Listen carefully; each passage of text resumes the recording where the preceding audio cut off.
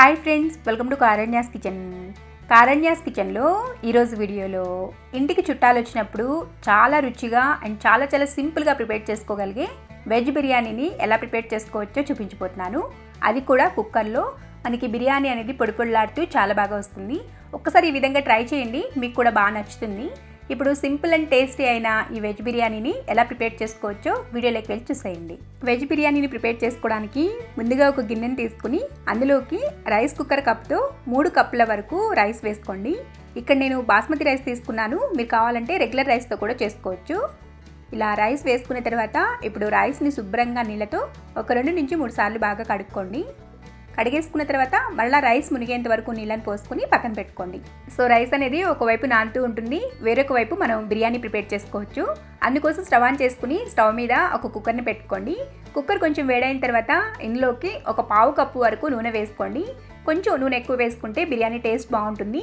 లేదు మేము తగ్గించి వేసుకుంటామంటే తగ్గించి కూడా వేసుకోవచ్చు. సో నూనె కొంచెం వేడైన తర్వాత ఇందులో ఒక టీ స్పూన్ షాజీరా వేసుకోండి. షాజీరా చాలా చాలా బాగుంటుంది బిర్యానీకి. అండ్ అలాగే ఒక ఇంచు చెక్క రెండు మూడు లవంగాలు బిర్యానీ ఆకులు రెండు రెండు యాలకులు ఒక నల్ల ఇలాచి వేసుకోండి. ఇది కొంచెం పెద్దగా ఉంటుంది. నల్ల కొట్టుకుని వేసుకోండి. డైరెక్ట్గా అలా వేసుకున్నారంటే పేలిపోతుంది నూనెలో. అండ్ తర్వాత స్టోన్ ఫ్లవరు కొద్దిగా వేసుకోండి సరిపోతుంది. బిర్యానీకి మంచి ఫ్లేవర్ని యాడ్ చేస్తుంది. అండ్ కొన్ని జీడిపప్పును వేసుకోండి. జీడిపప్పు అనేది ఆప్షనల్. ఉంటే మాత్రం స్కిప్ చేయకుండా వేసుకోండి. ఇప్పుడు వీటిని మీడియం ఫ్లేమ్లో కొంచెం అలా లైట్గా ఫ్రై అవ్వనివ్వండి. ఇవి చక్కగా ఫ్రై అయిన తర్వాత ఇందులోకి కొంచెం పెద్ద సైజులో ఉండే ఉల్లిపాయను తీసుకుని ఈ విధంగా సన్నగా బారుగా కట్ చేసుకుని ఇలా చేత్తో నలుపుకుంటూ వేసుకోండి. సో అన్నీ కూడా చక్కగా సపరేట్ అయిపోతాయి.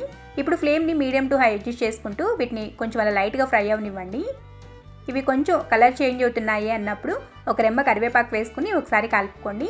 అలాగే ఒక రెండు లేదా మూడు పచ్చిమిర్చిని కూడా వేసుకోండి. ఇలా చీల్చుకుని వేసుకోండి. అసలు ఇందులో మనం కారం అనేది అసలు ఆడమనమాట మీరు కొంచెం స్పైసీగా కావాలి అనుకుంటే పచ్చిమిర్చి కొంచెం ఎక్కువ వేసుకోండి. ఇలా పచ్చిమిర్చి వేసుకుని మరొకసారి కలుపుకున్న తర్వాత చూడండి ఆనియన్స్ అనేవి ఈ విధంగా ఫ్రై అయితే సరిపోతుంది. ఇలా ఫ్రై చేసుకున్న తర్వాత ఇందులోకి ఒక మీడియం సైజు కానీ లేదంటే కొంచెం పెద్ద సైజులో ఉండే టమాటోని ఇలా చిన్న ముక్కలుగా కట్ చేసుకుని వేసుకోండి. అండ్ టమాటోలు త్వరగా సాఫ్ట్ అవడానికి కొద్దిగా ఉప్పు కూడా వేసుకుని ఫ్లేమ్ని మీడియం టు హై అడ్జస్ట్ చేసుకుంటూ మూత పెట్టుకుంటూ మధ్య మధ్యలో మూత తీసి గరిటతో కలుపుకుంటూ టమాటోలు కొద్దిగా లైట్గా సాఫ్ట్ అయ్యేంత వరకు ఉడికించుకోండి. టమాటోలు కొంచెం అలా లైట్గా సాఫ్ట్ అయిన తర్వాత ఇందులోకి మీకు నచ్చిన వెజిటబుల్స్ని వేసుకోవచ్చు.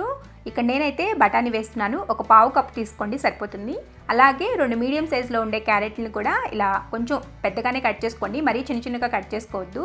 కుక్కర్లో చేస్తున్నాం కదా మరీ టూ సాఫ్ట్ అయ్యే ఛాన్స్ ఉంటుంది. అలాగే ఒక నాలుగు లేక ఐదు బీన్స్ని కూడా అలాగే కట్ చేసుకోండి.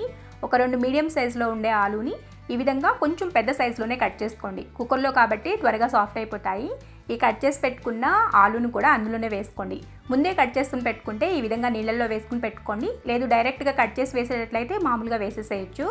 ఇప్పుడు ఫ్లేమ్ని మీడియం టు హై అడ్జస్ట్ చేసుకుంటూ కలుపుకుంటూ ఆ కూరగాయ ముక్కల్లో ఉన్న చెమ్మ పోయేంత వరకు ఫ్రై చేసుకోండి.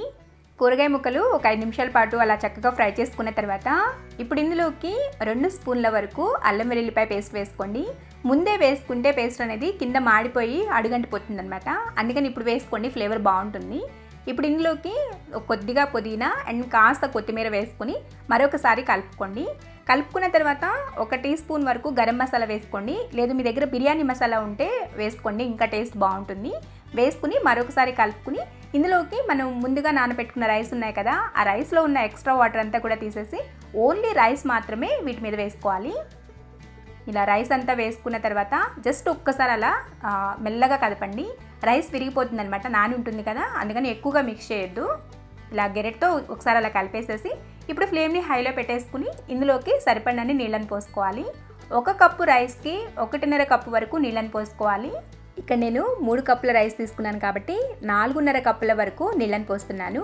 ఇలా నీళ్ళు పోసుకుని ఒకసారి గరిటతో కలుపుకుని సాల్ట్ చెక్ చేసుకోండి. ఒకవేళ సాల్ట్ ఏమైనా సరిపోలేకపోతే ఈ టైంలో వేసుకుని కలుపుకోవచ్చు. సో ఇలా సాల్ట్ చెక్ చేసుకుని సరిపోకపోతే వేసుకుని కలుపుకున్న తర్వాత కుక్కర్ మూత పెట్టేసేసుకుని విజిల్ పెట్టుకుని అంటే నార్మల్ కుక్కర్ అయితే మూడు విజిల్స్ ఇచ్చేసేయండి హై ఫ్లేమ్లో. ఇలా స్టీల్ కుక్కర్ అయితే హై మీడియం ఫ్లేమ్లో పెట్టుకుని రెండు విజిల్స్ వచ్చిన తర్వాత సిమ్లో ఒక ఐదు నిమిషాల పాటు అలా వదిలేసేసి స్టవ్ ఆఫ్ చేసేసేయండి. అంటే చాలా సింపుల్ అండ్ చాలా టేస్టీ అయిన వెజ్ బిర్యానీ అయితే రెడీ అయిపోయింది. ఇక్కడ నేను మీకు కుక్కర్ అంతా కూడా ఆవిరిపోయిన తర్వాత మూత తీసి చూపిస్తున్నాను చూడండి. చూసారా ఎంత బాగా వచ్చిందో? అండ్ దీనిలోకి షేర్వా చేశాను ఈరోజు. షేర్వా రెసిపీ అనేది మన ఛానల్లో ఆల్రెడీ ఉంది. దాని లింక్ అనేది కింద డిస్క్రిప్షన్ బాక్స్లో ఇస్తాను చూడండి. చాలా చాలా బాగుంటుంది కాంబినేషను. సో ఆ షేర్వా అనేది పరాటాల్లో కూడా సూపర్ టేస్టీగా ఉంటుంది.